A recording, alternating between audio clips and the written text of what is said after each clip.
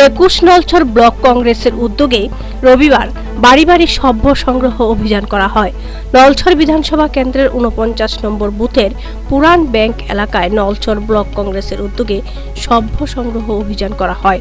সভ্য সংগ্রহ অভিযানে উপস্থিত ছিলেন সোনামুড়া জেলা কংগ্রেস সভাপতি দীপক চক্রবর্তী, একুশ নলছর ব্লক কংগ্রেস সভাপতি পরেশ দেবনাথ, সিপাহীজলা জেলার এসসি নেতা লক্ষণ দাস ও সিপাহীজলা জেলা কংগ্রেস নেতা পরিমল দেবনাথ সহ অন্যান্যরা। সভ্য সংগ্রহ অভিযানে একান্ত এক সাক্ষাৎকারে সোনামুড়া জেলা কংগ্রেস সভাপতি দীপক চক্রবর্তী বলেন মানুষ খুব সুন্দরভাবে এবং ভালোভাবে তাদের সভ্য সংগ্রহ গ্রহণ করছে এবং তারা ব্যাপক সাড়া পাচ্ছে। তাছাড়া তিনি সভ্য সংগ্রহ অভিযানকালে বর্তমান বিজেপি সরকারের বিভিন্ন কর্মসূচির সমালোচনা তুলে ধরেন। এই যে কর্মসূচিটা।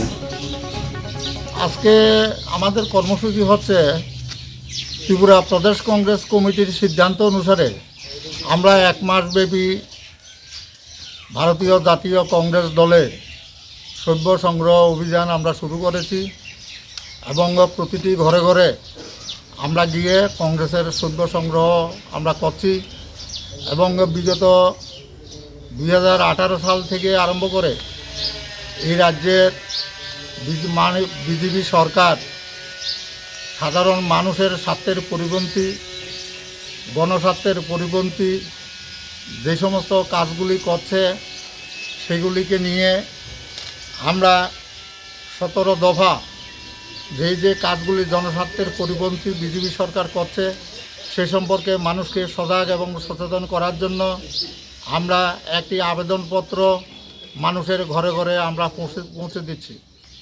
এবং আমাদের এই কর্মসূচিতে সোনামুড়া জেলা কংগ্রেসের অধীন যে চারটা বিধানসভা কেন্দ্র আছে প্রত্যেকটা বিধানসভা কেন্দ্রেই আমরা ব্যাপক সারা আমরা লক্ষ্য করছি আজকে কোন আজকে কোন জায়গায় আমরা?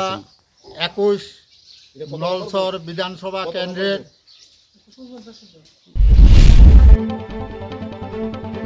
মেলাঘর থেকে নিজস্ব প্রতিনিধি রিপোর্ট দুরন্ত টিভি